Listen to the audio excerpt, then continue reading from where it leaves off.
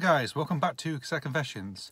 Uh, today we're looking at my bumper, The Wind in the Willows, Fun and Games from 997. This is actually uh, a very interesting VHS to obtain actually in the collection. Well, not really obtain, I had it for years. Probably since when it first released actually, back in the spring of 97, or the late spring actually, to be honest. And it's, it's a very interesting gem. That is actually, to be honest, because let's go through this. So, The Wind in the Willows, of course, infamous, famous TV show done by Cosgrove Hall. Um, I think in terms of Cos Cosgrove Hall shows are fondly remembered, you know, people still remember uh, Danger Mouse and Count Duckula, of course. You know, and... Uh, well, those ones spring to... When people think of Cosgrove Hall, they think of that, them two shows. But other, other people think of Wind in the Willows. Fantastic. Brilliant stop motion animation. Brilliant writing by Rosemary Ann Sisson and Brian Trueman and fantastic directors, of course, with the likes of, you know, Barry Purvis, Francis Vose, Jackie Cockle, Chris Taylor. This goes on with that one. Um, brilliant animators, of course, the late great Paul Berry, who worked on Night Before Christmas, uh, CPU, um, Marge Graham, Monica McCartney, the brilliant voice acting of, of course, Sir David Jason, Peter Sallis, Richard Pearson, Sir Michael Hordern, and Ian Carmichael, and the, and the others including, you know, G Jimmy Hibbert, Brian Southend, um, Daphne Oxford, if, that, if that's an, if that's a name, Daphne Oxford. A very strong, um, strong writing, great voice voice cast, you know, in you know, brilliant production, of course. So, this video itself. This video uh, came out tonight 7 It's part of a bumper range actually, only three VHSs. Uh, the other two were sooty ones, um, Little Shop of Mischief and My Bumper Christmas Sooty, all released in 97 they were, uh, sporadically I think. Uh, I think Shop of Mischief came first and Funny Games came next, and then uh, Christmas Sooty came out last in October, whereas I think these one, these first two came out in, in the spring, they did. Um, it's interesting because it's one of the few titles that was released on the um, VCI banner, very much on the ident in those days actually. There's, there's only four VHSs released, which VCI actually um, released at the time, of course, um, and they're actually very hard to find. They're very, they are very, you know, hard to come across on Amazon, eBay, secondhand stuff. Really, you know, it's very some you know do charge for high, well, not really high prices, but you just can't really see them on listings on the internet these days or on a car boot sale. Maybe a car boot sale, but maybe not anywhere else because they're very sought after. There's only four they actually released, which was um, I'll go through them now actually. Uh, the first one being Automatic uh, Automatics from September 95. So that's the transition period between the video collection and the v and VCI at the time. Um, then you got this one, Fun and Games, that was released next. Then you got a reissue of Summer Escapades that was released, uh, strange enough, in in um, like October, like in, in autumn, which I believe it or not, 97. Very good artwork as well, actually, and um, really good. I wasn't. I was full. I thought it'd be the same thing as that PT video release, but I was proven absolutely wrong. It was blue. Had an, it has one of those. It has that reverse. It has that cover on with the, the four characters you know, like um, linking arms together. That's sort of like an iconic picture, very much in that one, for to represent and And it was actually, I think it's flipped it was.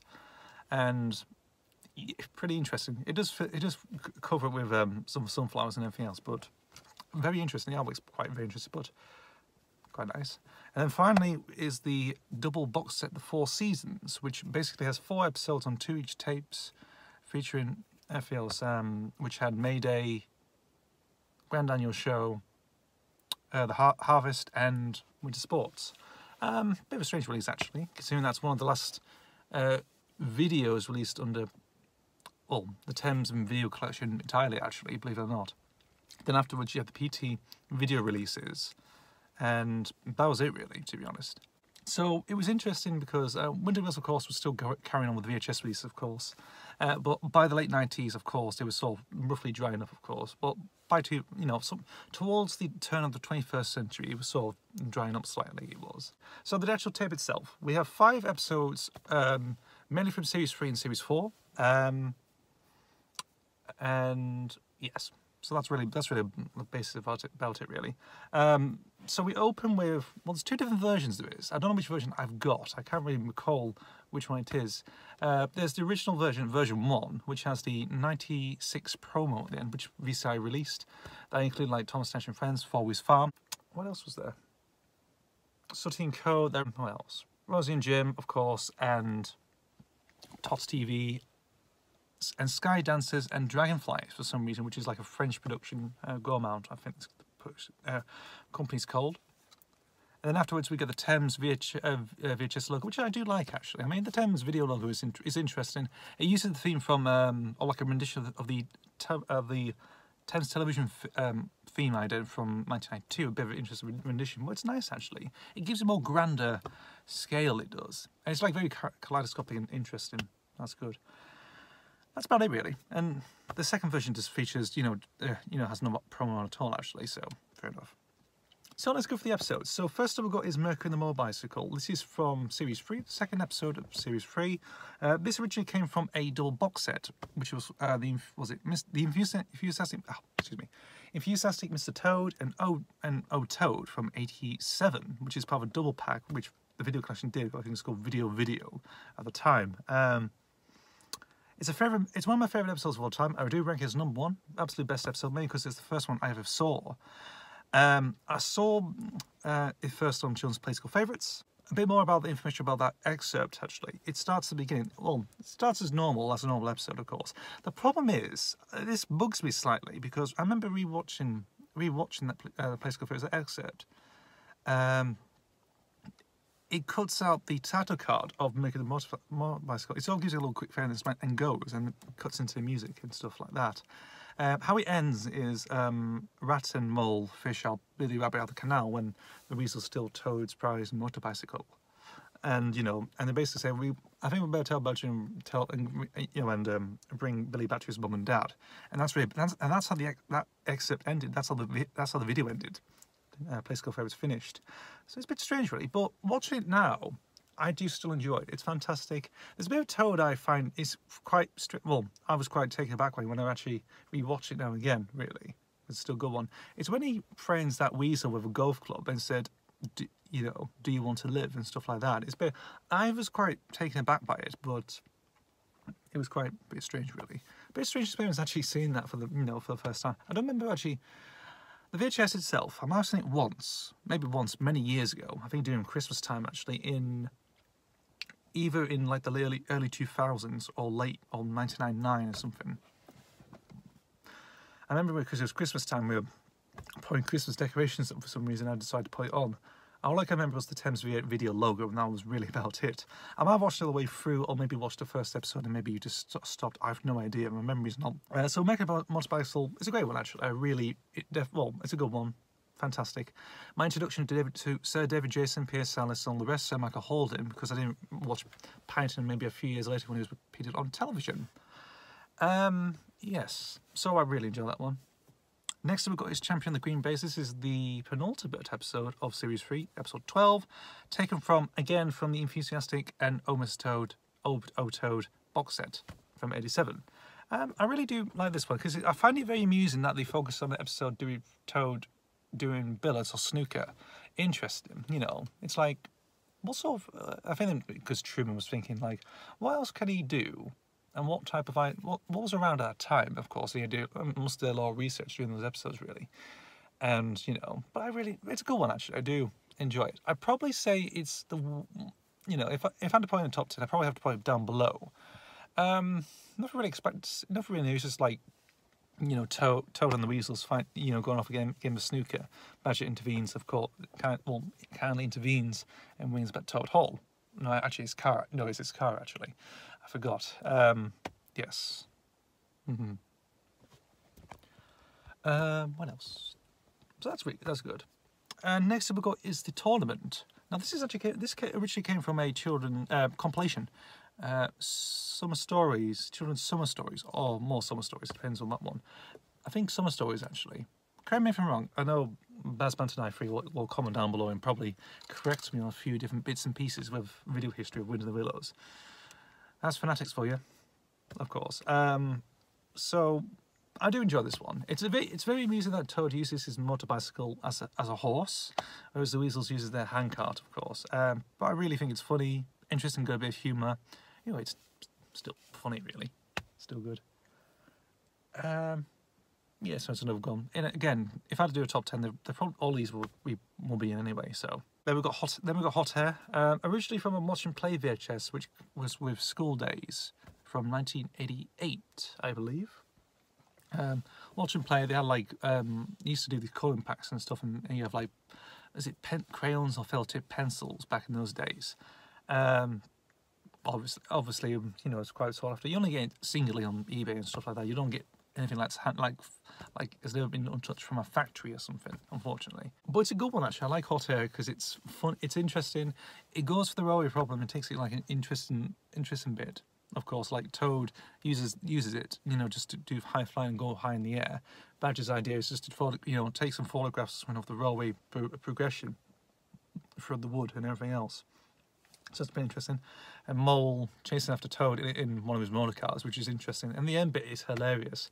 Like he's so well because he he tricks uh, Badger, Ratty, and Toad that he thinks he, he just becomes like Toad, of course. Like he's totally so obsessed with motor cars. Like a nice little callback to the uh, the movie, of course, the 83 movie now. So you know the boop and that sort of stuff, really still great, still funny, a nice little funny, a funny ending. So it's very, very nice. I do like the idea of the, the henchman Weasel and Toad just, you know, trying to solve uh, bits and pieces like, you know, like um, even the Toad trying to trick like, oh, I'll jump off and you handle the balloon and stuff like that. It is fun. It's it's great.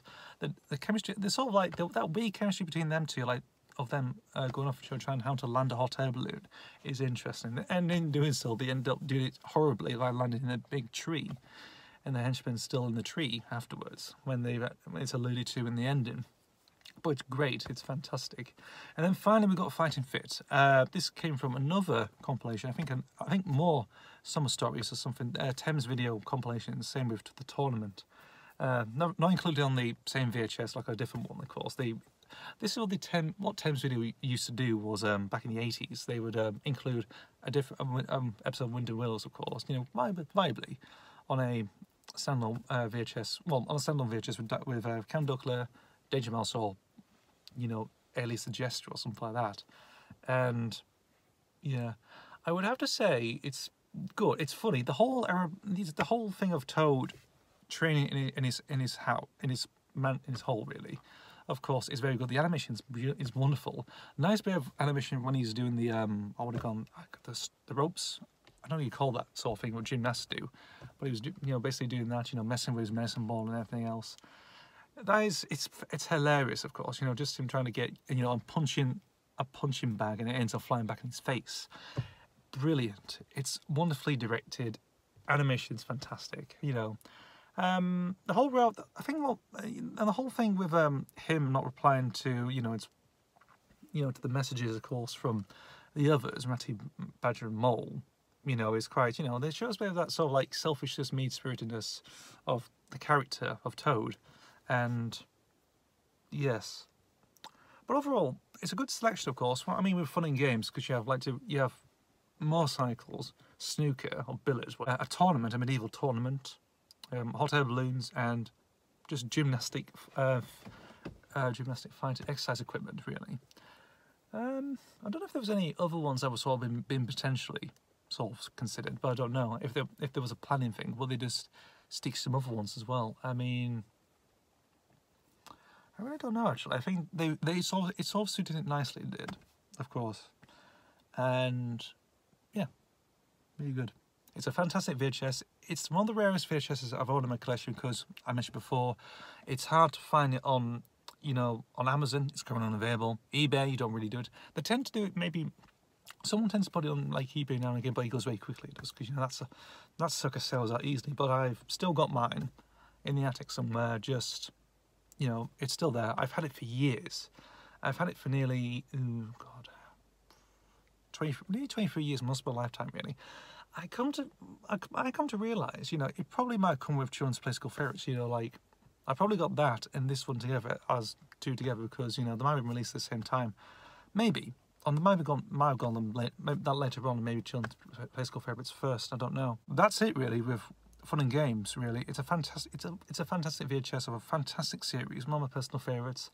You know that show is always it's always been in the back of my mind. Wind Willows. You know it's always been a show that I've always loved for many years. I've only come to really appreciate a lot more I mean heavily a lot more when um, Richard Haynes, who was a um, animator for Cosgrove Hall back in the 2000s, you know, he started posting commentaries on um, on YouTube really, and doing it like in um, seasonal order from spring to winter. Really good stuff. Lovely guy. And also, just recently, I've joined a Facebook group Baz Banter Free. You know, um, so that's very good.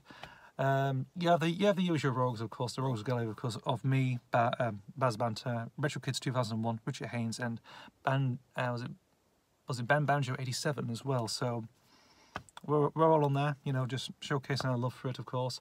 I might send a link down below to the Facebook page if you wish to join. If you wish to, if you want to see a bit more about the show, of course, just, you know, if you want to share your love and everything else and appreciation for the series, links down below.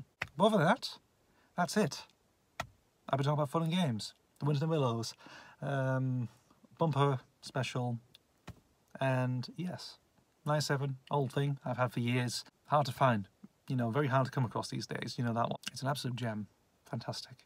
Anyway, guys, thank you for watching. As always, see you for the next video. Goodbye.